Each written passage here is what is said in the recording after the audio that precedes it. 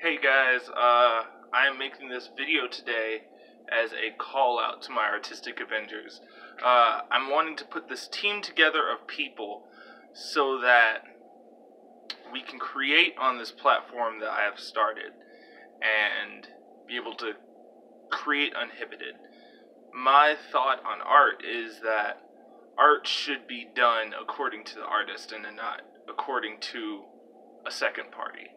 And I feel like a lot of platforms that produce art, they like to put their own spin on things, and that's cool for them, but that's not how I feel like art should be done.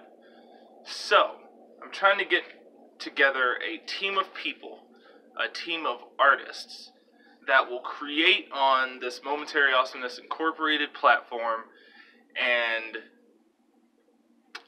and my my thought is that if I have a big enough team of people that are really, really good at what they do, we could all just create.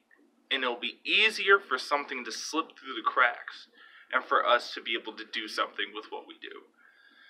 Um, that's why I'm calling out to you guys. I want the brightest, I want the best of all platforms of art, be it visual media, be it physical media like painting and sculpting, be it video, be it editing, be it whatever. Everything. Just come, get in contact with me. I'll put my email and my link to my Instagram page. Follow. And just uh just get in contact with me somehow because I want serious artists that are wanting to get their art out there into the world to put their indent on the world for as long as we possibly can. And that's really what I think any artist wants is to be able to put its art out there and have it make a difference in the world as long as humanly possible.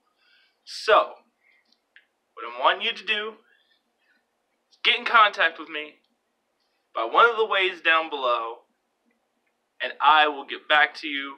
Uh, I've been really talking to a lot of my friends that I feel like would be a really good fit into this team, and we're gonna try to create something that's just amazing and and unchained and something that's never been able to be done before by a company. And that's and that's creative freedom. Complete creative freedom you know, if we put music out there, usually the labels would go, hey, we don't feel like this song fits on this album.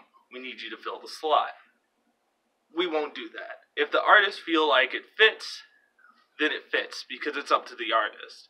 No, we're going to allow our artists to fail and succeed through their own fruition, which is how it should be.